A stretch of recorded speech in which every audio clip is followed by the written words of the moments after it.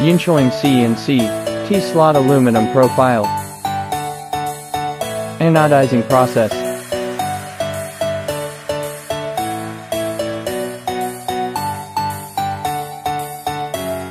High surface hardness and wear resistance. Support color and style customization and incoming material processing.